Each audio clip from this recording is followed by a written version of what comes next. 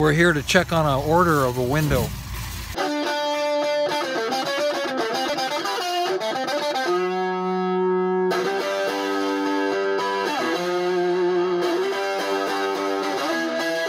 Take a look at the status of a window over here at Lowe's and we noticed a man. It's a Century. A man looks like he's got some military boots on. It's a Century of some sort. Maybe he's a mascot. I don't know what he's doing. We found the window section of the store and we found the size of the window that would be best suited. We were going to get a glass plate picture window but it takes a few weeks to order and we failed to order and there was a storm. Now things are getting a little bit better. And here's a 60 by 48. Fit in there perfect. All right, we'll pick that up tomorrow. We're out on leisure tonight with the family. We're with the family tonight.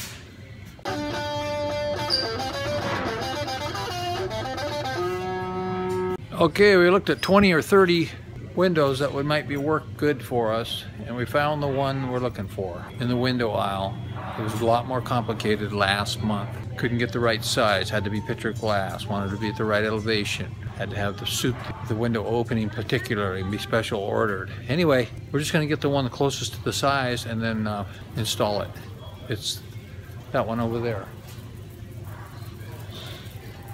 And that one over there is my window for sure. Window to the world.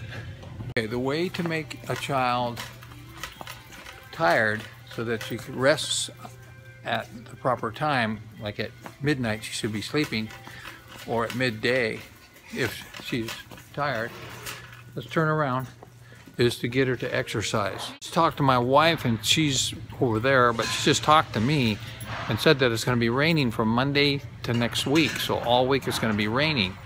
So a good construction worker can put a window in no matter what kind of weather.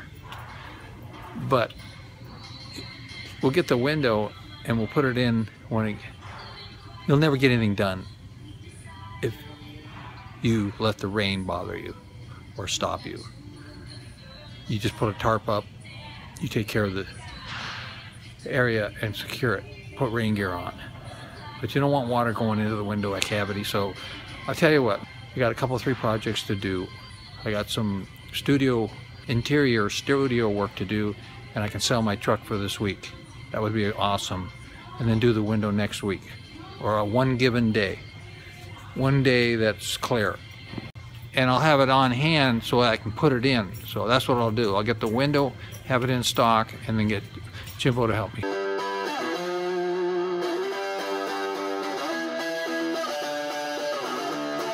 Expecting some rain, so we're not going to do the window installation this week. We're going to work, uh, try to sell my extra truck, work on the countertop, and do some interior work on the studio outbuilding.